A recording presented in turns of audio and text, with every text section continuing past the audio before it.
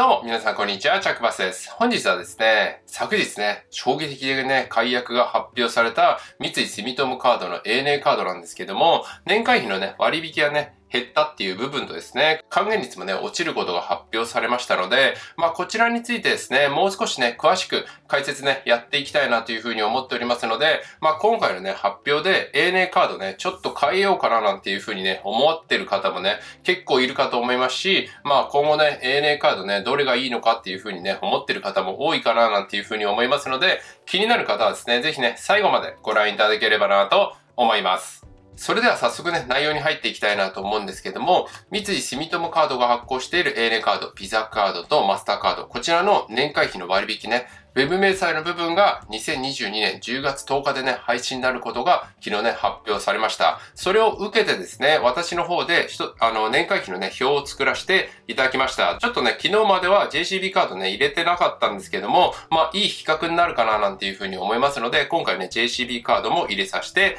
いただきました。まずですね、スーパーフライヤーズカードが入っていないゴールドカードの JCB のね、欄を見ていただきたいんですけども、まあ、こちらね、年会費が15,400円。かかるわけなんですけども、JCB カードっていうのは、スマリボっていうね、リボ払いのサービスをね、利用していただくとですね、5000円のね、割引は受けられるっていう風になりますんで、こちらを考慮するとですね、割引後の年会費ということで、1400円でね、維持することができます。で、このゴールドカードの JCB には、家族カードがね、4400円でね、発行することができるんですけども、この JCB カードの方はですね、家族カードにはですね、このリボ払いの割引っていうのが適用されないっていう風になりますんで、こちらね、本会員と家族カードね、1枚発行した場合の維持費っていうのはですね、一番下の欄ですね、黄色い部分の14,800円がね、かかるっていった形になります。まあ、こういった感じで見ていただければなと思うんですけれども、ANA ワイドゴールドカードのビザマスターであれば、本会員1枚と家族カード1枚で、こちらもね、リボ払いの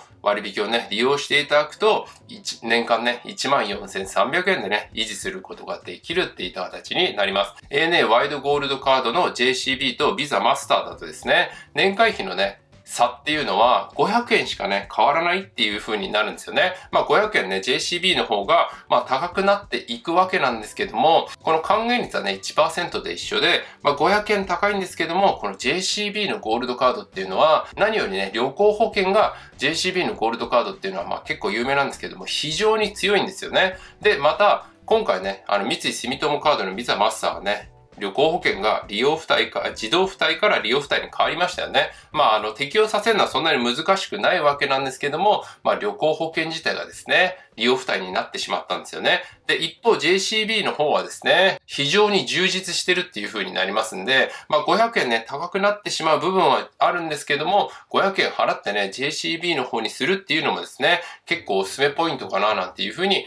思います。またね、あんまり話題にならないですし、私使っているっていう人もね、あんまり聞かないんですけども、ANA JCB ゴールドカードだとですね、ANA Pay って知ってますよね ?ANA が運営している決済サービスなんですけども、こちらね、スマートコードっていうね、JCB の企画を利用することによって、非常にね、いろんなところで今ね、この ANA Pay って利用することができるんですよね。で、ANA Pay っていうのはもともと200円につき1マイル、まあ0.5%還元なんですけども、この ANA JCB ゴールドカードだとですね、ANA Pay にチャージしていただいた時にもですね、1000円につき6マイルがね、貯まるっていう風になりますんで、還元率にするとね、0.6%還元なんですよね。ですんで、決済時のね、還元を入れるとですね、こちら ANA Pay ね、利用していただくと1.1%のね、マイル還元率っていう風になりますんで、まあこちらね、知っといてね、損はないのかななんていう風に思うんですけども、この ANA JCB ゴールドカードでね、していただくと、こういったね、メリットもね、あるっていった形になってるんですよね。それでは次にですね、家族カードね、かなり発行する方多いと思うのが、スーパーフライヤーズカードをね、保有されている方ですよね。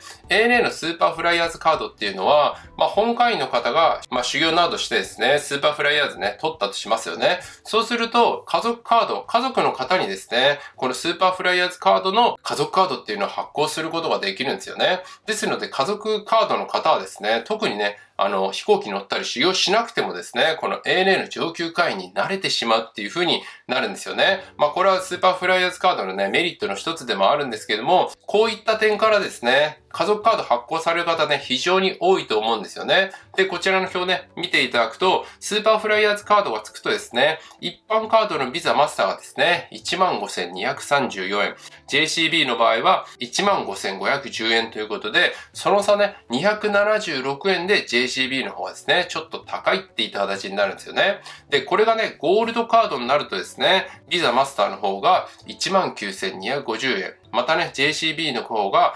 19,750円ということで、こちらね、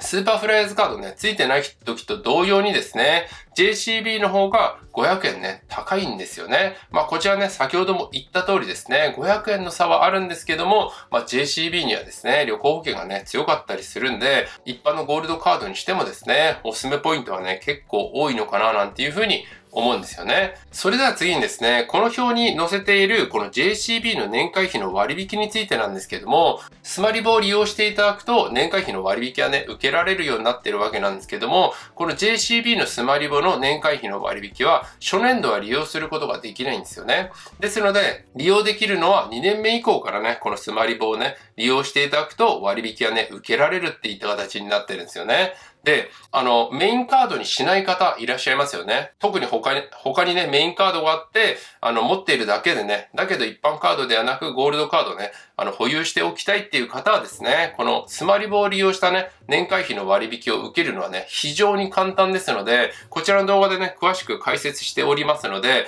もしね、静岡カード全然利用しなくて年会費の割引を受けたいっていう方はですね、こちらの動画ね、見ていただければ結構簡単にね、割引受けることができますので、かなりね、お勧めっていった形になります。またね、ANA JCB ゴールドカードをスーパーフライヤーズカード付けないついてない人も、ついてる方も、メインカードでね、利用されるっていう方はですね、このスマリブをね、利用していただくと、年会費の割引が受けられたりね、あの、還元額上がったりするんですけども、メインカードで利用される方はですね、あの、安易にね、スマリボは登録ね、しないようにしてください。私の方でね、まだこのスマリボの、あの、繰越返済の利用方法っていうのは、解説動画ね、出せておりませんので、これね、ちょっと今後ね、JCB ゴールドカードメインカードにされる方も結構いらっしゃるしゃるかななんていうふうに思いますので、私の方でね、今後作っていきたいなっていうふうに思いますので、このね、スマリボっていうのはですね、三井住友カードのね、リボ払いのサービスとは違って、初月からね、手数料がかかったりですね、あの、繰り上げ返済しないと、どんどんどんどん膨れていく部分もありますので、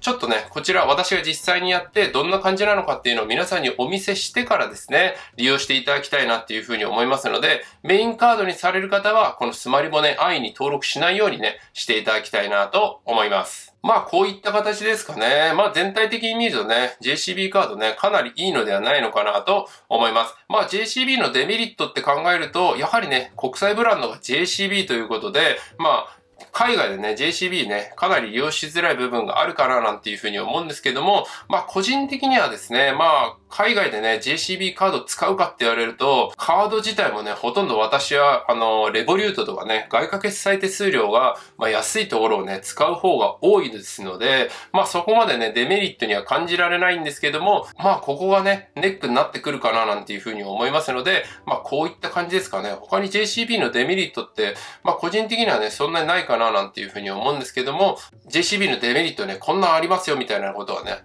思いつく方いらっしゃいましたらですね、ぜひね、教えていただければなと思います。それでは次に還元率をね、メインでね、ちょっと話していきたいなと思います。今まではですね、ちょっと年会費をメインでね、話させていただいたわけなんですけども、この年会費のね、割引に関してはですね、ウェブ明細で今回ね、あの、割引はね、なくなりますよっていう話をさせていただきましたけども、このプラチナカードもね、これ三井住友カードからね、ANA ビザプラチナプレミアムカードっていうのが出ておりますけども、ウェブ明細の割引っていうのはもともとプラチナプレミアムはね、対象外っていう風になりますんで、今までの話はね、これプラチナカード関係なかったんですけども、還元率の部分ではですね、リボ払いを利用していただくと、還元率がね、あるサービスもこちらね、終了っていう風になりますんで、この部分はですね、ANA ビザプラチナプレミアムもね、影響あるっていった形になってるんですよね。で、私の方でですね、還元率をね、ANA カードちょっとまとめさせていただきました。まあ、ANA カードに関してはですね、今回の改定が入りまして、リボ払いのね、増量分がなくなりますんで、もう横一列でですね、ANA の一般カードとゴールドカード、こちらに関しては1%還元っていう風になります。まあ、一般カードの方はですね、ちょっとコースによってね、0.5%還元に落ちるわけなんですけども、まあ、こちらね、手数料さえ払っていただければ、まあ、ゴールドカードと同じね、1%還元がね、受けられるっていう形になります。で、プラチナプレミアムカードに関しては、1.5%還元が基本還元率っていう風になりますんで、まあ、今まではですね、リボバレ併用すると1.8%だったんですけども、今後はね、1.5%還元っていう風になります。で、次にね、JCB カードなんですけども、この JCB カードっていうのは、ちょっとね、複雑になっておりまして、ちょっと細かい話になるんですけども、基本還元率はですね、一般カードは、あの、ANA、ビザ、マスターと同様に、手数料ね、あの、コースによってね、払えば1%還元に上げることができて、ゴールドカードはね、基本還元率が1%っていう風になります。で、JCB のクレジットカードにはですね、こういった感じで JCB スターメンバーっていうのがあるんですよね。まあ利用するほどお得な JCB スターメンバーの紹介ですということで、こちらホームページの画像なんですけども、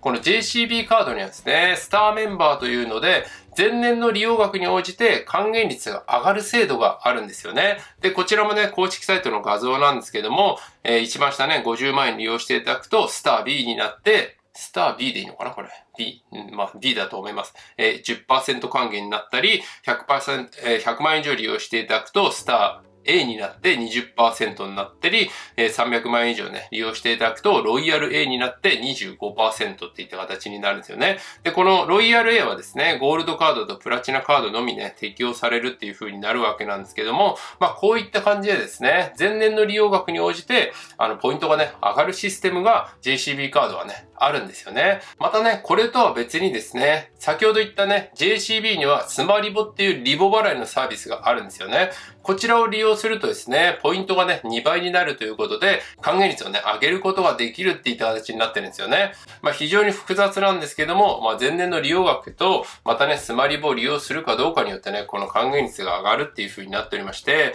非常にね、システム的に分かりづらいと思うんですけども、昔ね、こういったのも三井住友カードで同様のね、こうういった分かりづらいシステムってあったんですよね。で、三井住友カードも JCB もね、同じようなシステムが元々はあったんですけども、まあ今回の改定ね、リボ払いもやめましたし、昨年だったかな一昨年だったかな前年の利用額に応じてポイントがもらえるっていうのも、この三井住友カード側はやめたんですよね。ですんで、まあ JCB だけまあ残ってるみたいな感じなんですよね。ですので、今回ね、あの、三井住友カードがこのボーナス部分に関してね、やめましたので、今後ね、JCB cb がこれに追従してくるかもっていうのはね、正直あるかもしれないんですよね。ですので、現時点ではですね、この前年の利用額とスマリボ、まあリボ払いね、ポイント増量分は JCB 生き残ってるわけなんですけども、もしかしたらですね、来週とかね、1ヶ月後とかにね、JCB もやめますみたいなね。まあそういったのも、まあもしかしたらあるかもしれないななんていうふうに思いますので、まあこの点はね、覚えておいていただければなと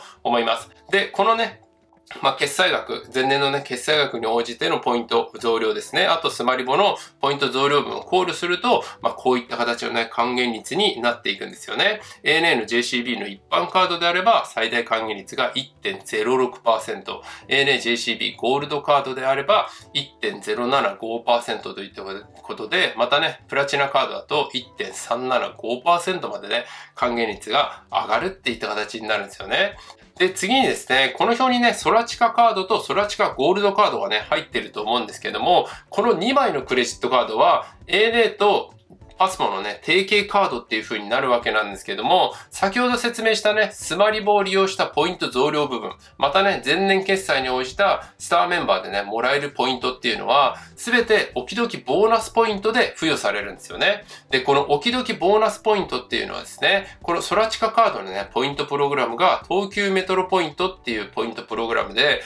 おきどきボーナスポイント東急メトロポイント、ANA マイルみたいな感じで、このルートがね、利用することができるんですよね。で、このおきどきボーナスポイントっていうのは本来1ポイント3マイルに交換することができるわけなんですけども、こちらのルートを利用していただくと1ポイント4.5マイルということで、まあ私の動画でね、この話結構してるので、その話かっていう感じの方もね、いらっしゃるかと思うんですけども、このルートを利用していただくとですね、こういった感じでね、1点最大還元率ね、1.54%、ゴールドカードに関しては1.5 1.5625%までね、還元率ね、上げることができるっていった形になるんですよね。まあもちろんね、この1.54とか1.5625っていうのは、まあ前年ね、100万円決済あの、一般カードであれば、え、ゴールドカードであれば、前年300万円の決済をね、した場合のこの還元率っていう風になりますんで、まあ、ゴールドカードとかね、年間300万ということで結構ね、ハードル高いと思うんですけども、まあ、ここまでね、狙うことが、ま、できるっていった形になりますんで、この2枚のクレジットカードだけね、JCB カードなんですけども、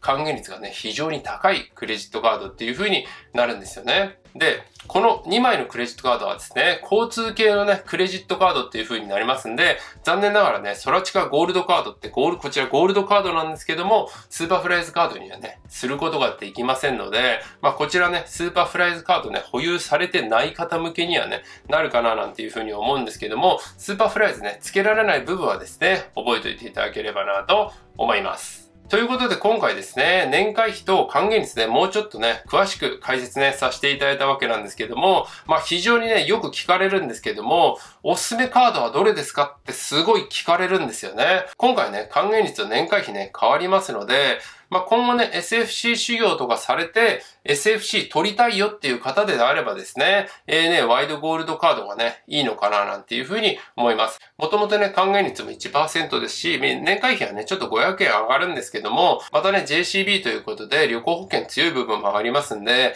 修行ね、されるときにですね、この保険っていうのは絶対ついといた方がいいのかななんていうふうに思いますので、まあ、これから SFC 修行ね、考えるんであれば、ひとまずね、ANA ワイドゴールド JCB がね、いいのではないのかなと思います。で、またですね、メインカードにはしないで SFC だけ維持するためだけにね、クレジットカード保有されたいっていう方はですね、スーパーフライヤーズのね、JCB の一般カードがね、いいのではないのかなと思います。こちらね、本会員で、えー、割引入れるとね、9900円ですよね。かなり安いですよね。家族カードを入れても15,510円ということで、これもね、維持するにはね、かなり安いですよね。まあ、これがね、いいのではないのかなと思います。まあこういった感じですかね。今回の動画でね、ANA JCB ゴールドカードね、結構いいかなってなんていうふうに思いまして、これからね、ANA JCB ゴールドカード発行しようかなって思われる方、またね、今ね、別のスーパーフライヤーズカードで JCB のね、ゴールドカードに切り替えたい方はですね、